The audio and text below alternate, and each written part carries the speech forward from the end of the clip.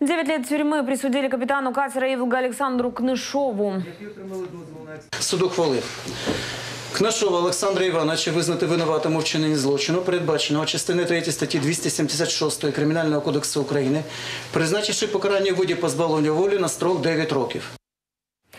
Напомню, 20 человек погибли на прогулочном судне 17 октября 2015 года в Затоке. Все из-за нарушения техники безопасности на катере. Вместо разрешенных 20 на борту находилось 33 пассажира. Более того, ни на ком из них не было спасательных жилетов. Капитан единственный ответственный по решению суда.